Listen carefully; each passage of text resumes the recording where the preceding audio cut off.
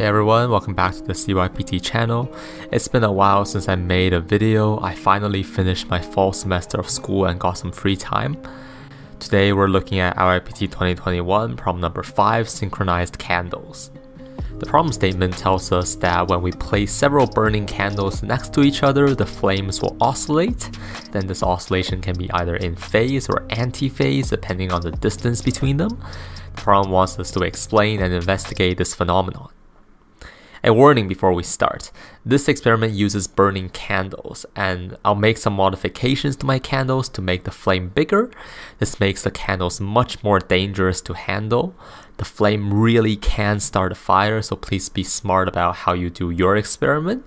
Have a fire extinguisher beside you and have an adult supervision if you're underage. Much of this problem is inspired by an article in the journal Scientific Reports titled Synchronization in Flickering of Three Coupled Candle Flames. In this video, we will set up our experiment in a very similar way. I'll link the paper in the video description. To begin, first we should make a windproof chamber. My chamber will have two compartments separated by a metal mesh. It will have a structure like this, and on one side I'll have a polycarbonate window to allow for observations. Let's make the box first. Shout out to Dave for helping me out with the construction of the box. To start, we found some pieces of 1x2 and 2x2 pieces of wood and cut them into size. Then we built up the frame of the box by attaching the wood pieces using screws. We bought this large roll of garden mesh and we cut out a piece of it to serve as a platform for the candles. We were very careful when unpacking the wire mesh, we didn't want the wires to spring out and hurt our eyes. Next we got a few pieces of MDF, this is a wood fiber board often used as plywood. We cut out three pieces of this MDF to make the walls of our box. We also cut out a couple of holes in the board at the bottom to allow for the air to flow in. We nailed the MDF board onto the frame, and finally we installed the two hinges and a clear polycarbonate door help with the airflow and exhaust, I installed three computer fans and some activated carbon filter to help reduce the amount of smoke. Next up, we need to prepare our candles. The candles that I bought from the store have very thin wicks. We need thicker wicks to produce a large enough flame for the oscillation.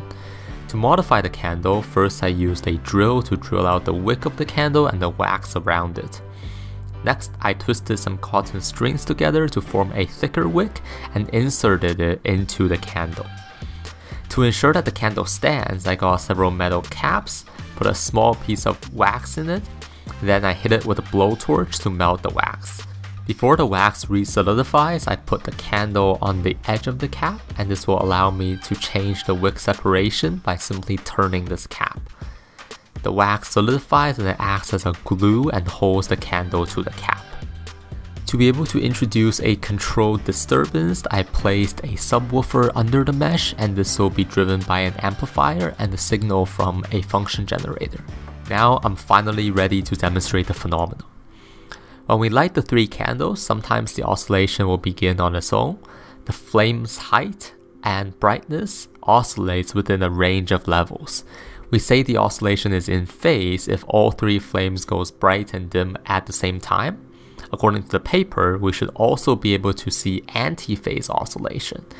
This is when two of the flames are in sync and the third one is half an oscillation out of phase. We should also be able to see a cyclic oscillation. This is when the candles are a third of an oscillation out of phase. The brightest candle shifts between the three candles in a circle. Sometimes when the candle just starts to burn, it doesn't start the oscillation immediately, and as I turn on the subwoofer to introduce some disturbance, the oscillation begins. Now that I have the video, I can do a bit of analysis. First of all, when I bring the videos into my editing software, I can show the video scopes. From the parade, we could see that the red channel is the brightest, it is overexposed, the green channel is dimmer, and the blue channel is even dimmer. This makes sense because a burning flame is approximately a black body. We know that the flame temperature is approximately 1500 Kelvin, so it makes sense for the longer wavelength of visible light to be higher in intensity, and the intensity falls off as the wavelength decreases to blue. To see exactly how the flame flickers, I wrote a short Python script to extract the pixel levels from each of the flames and plot them against time. As the flame just begins to oscillate, the brightness level versus time looks like this. We could see that the oscillation begins at about 300 frames and the amplitude starts to grow from there. Then I filmed another clip of the flame in seemingly steady oscillation. Plotting out the brightness versus time of the entire clip looks like this.